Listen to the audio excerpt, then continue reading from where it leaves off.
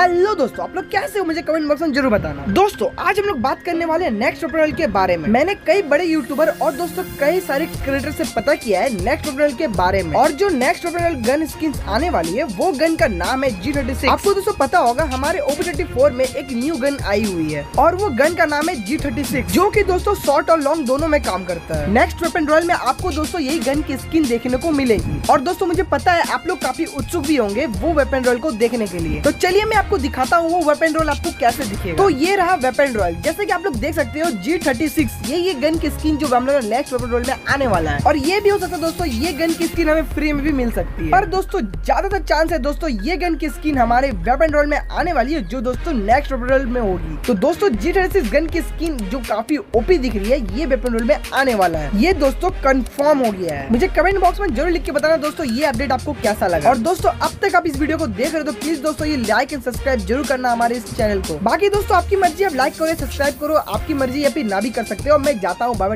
take